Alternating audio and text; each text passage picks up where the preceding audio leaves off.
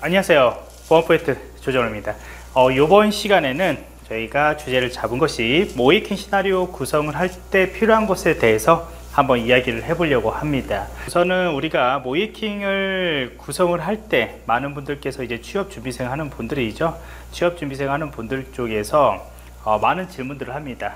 모이킹 구성을 할 때 어떻게 해야 할지에 대해서 많이 이야기를 하게 되는데 거기에 대해서 한번 서로 이야기를 해보려고 합니다.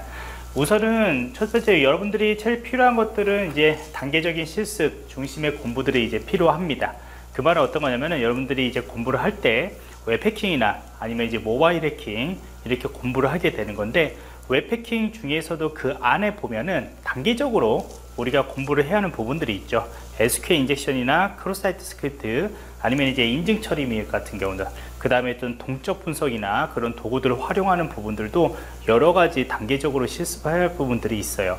그래서 처음부터 시나리오를 여러분들이 이렇게 어, 생각하려고 한다면은 그 단계적으로 공부하는 부분들이 어, 안 했기 때문에 안 했기 때문에 어, 굉장히 어렵죠. 시나리오를 구성하는데 생각이 안 나게 되는 것이죠. 그래서 공부를 어떻게 보면은 이제 뭐 나쁜 말로 공부를 안 한 거죠. 예, 그렇기 때문에 이론적으로만 너무나 이제 뭐 그 기사 자격증이나 어떤 자격증 중심적으로 하는 그런 이론 강의 같은 경우에도 어느 정도는 중요하지만은 실습을 해봐야 돼요 그래야 실습을 해봐야만이 그 공격에 대해서 제대로 이해를 하고 기억에 많이 남습니다. 어, 이론적으로만 한다면은 나중에 여러분들이 요거를 실질적으로 시나리오를 구성을 하려고 하다 보면은 어떻게 접근할지를 생각이 안 나실 겁니다. 그래서 실습 단위로 여러분들이 공부가 많이 필요로 합니다. 그건 나중에 이제 여러분들이 시나리오 구성을 다 하고 난 뒤에도 어차피 실습 단위별로 어, 중심적으로 정리를 해 나가야 하거든요 그렇기 때문에 실습으로 꼭 한번 여러분들이 공부를 하시고 중요한 것은 뭐냐면은 이 공부를 할 때 이제 여러분들이 정리를 하셔야 합니다. 이게 보고서로 정리를 하셔야 하는 거죠. 그래서 단계별로 공부를 하신 것들이 나중에 정리가 되면은 어, 후에 이 시나리오를 구성을 할 때 여기에서도 똑같이 그런 것들의 어, 그림을 캡처했던 내용들이나 아니면 여러 가지 그 안에 있던 내용들을 다시 활용을 할 수가 있어요 그래서 시간적인 것도 또 효율적으로 여러분들이 사용을 할 수가 있어요 그 다음에 이제 요런 것들을 실습을 중심을 하는데 시나리오를 구성을 할 때 이제 많은 인터넷 자료하고 책을 참고를 해야 합니다 어, 인터넷 자료는 여러분들한테 제가 예전에 구글 알림이나 아니면 구글 검색하는 부분들을 제가 잘 설명을 드렸습니다.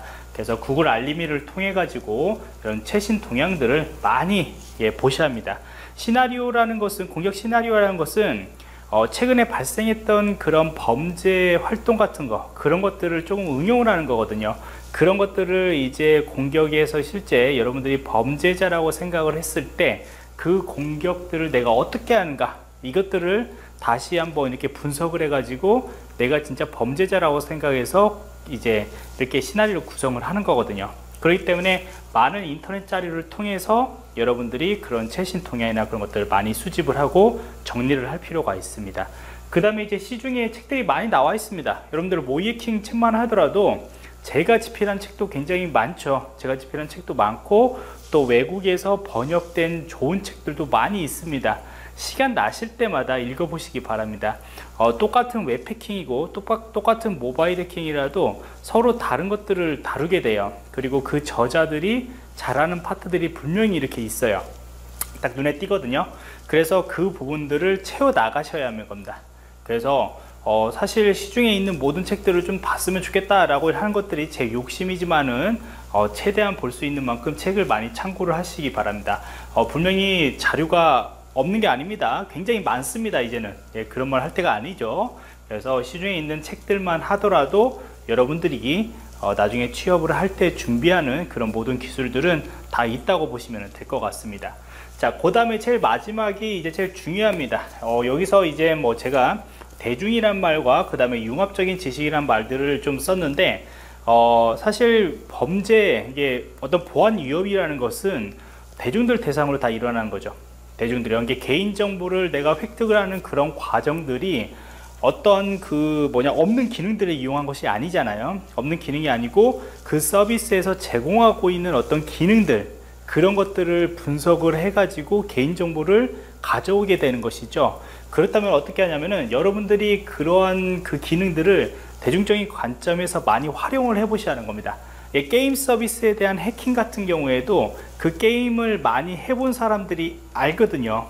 이렇게 분석, 그 같이 이렇게 프로젝트를 하다 보면은 평소에 게임을 많이 해본 사람들이 시나리오를 굉장히 잘 작성을 합니다. 그 이유는 그 서비스를 이해하기 때문에 그래요. 대중적으로 이해를 하기 때문에 겁니다.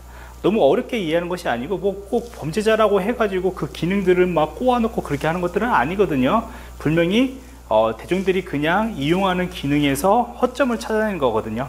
그것을 여러분들이 하기 위해서는 대중적인 것들에 대한 위협들 많이 생각을 하시고 많이 사용해 보셔야 하는 겁니다. 되게 뭐 쇼핑몰 같은 경우나 아니면 최근에 이제 뭐 어, 코인 거래소 같은 경우는 아니면 금융권 특히 여러분들이 모이킹 할 때 금융권에 많이 들어가거든요. 그렇기 때문에 이 금융권 쪽에서 같은 경우에는 여러분들 뭐 카드, 은행, 증권 이런 앱들 있잖아요. 그러면 이런 서비스들 아마 여러분들 이 동영상을 보시는 분들 중에서도 아마 은행에 있는 모든 기능들을 다 사용하신 분들은 없을 겁니다. 그 다음에 증권사 같은 경우에도 모든 기능들을 다 이렇게 눌러보신 분도 거의 없을 거고요. 그 부분 그것은 왜 그러냐면 평소에 많이 사용 안 하기 때문에 그래요 사실요 입출구만 하면 되고 거래만 되면 되잖아요 나머지는 거의 안 건들죠? 하지만 모의 해킹 할 때는 달라요. 모의 해킹 할 때는 이 모든 기능들에서 발생할 수 있는 위협들을 보는 거기 때문에 모든 기능들을 다 꼼꼼히 그냥 대중적인 관점에서 살펴봐야 하는 겁니다. 그 다음에 이제 융합적인 지식들을 좀 생각할 필요가 있다는 것은 뭐냐면은 여러분들이 모이킹 한다고 해가지고 공격 기법만 공격 기법만 이해를 하려고 한다면은 사실 조금 이렇게 공부하는 범위들이 좁아집니다. 그 다음에 자신이 공부했던 것들이 어떻게 로고에 남는지 그 다음에 컴퓨터의 단말에 어떤 영향들을 줄 수 있는지를 꼼꼼히 살펴보셔야만이 나중에 여러분들이 대응 방안을 세우실 때도 고객들한테 대응 방안을 세우실 때도 그것들을 명확하게 세우실 수가 있어요. 그 대응 방안들을 하나 잘못 세우는 것들은 장애가 발생한다거나 아니면 엉뚱한 대응 방안을 세우면은 그건 컨설턴트가 아니죠. 사실 아니죠.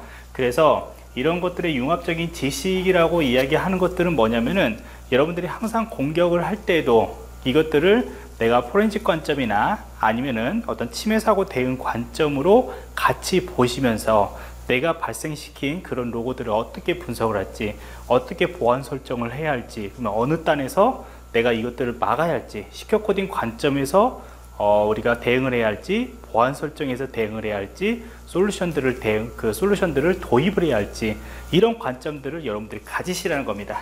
그러면은 공부할 것도 굉장히 많아지고 사실 보안이라는 큰 영역들도 여러분들이 조금 조금씩 더 이해를 할 수가 있겠죠. 그래서 사실 공부를 좀 하다 보면 너무나 이제 공격 기법이나 그런 거에 대해서만 치중하는 경우들도 있어요. 사실 공격 기법들은 수만 가지, 뭐 수천만 가지가 있습니다. 다 인터넷에서 어느 정도 공개가 되어 있고요. 단지 그거를 이제 단위별로 아직은 공부가 많이 안 됐기 때문에 그게 정리가 안 되는 것 뿐이죠. 근데 중요한 것은 나중엔 여러분들이 대응 방안이다. 예, 그래서 고객사들한테 그 대응 방안을 제시하기 위해서는 큰 범위에서 융합적인 지식들이 필요하다고 저는 생각을 합니다. 그래서 이렇게 오늘은 또 이렇게 마치도록 하겠습니다.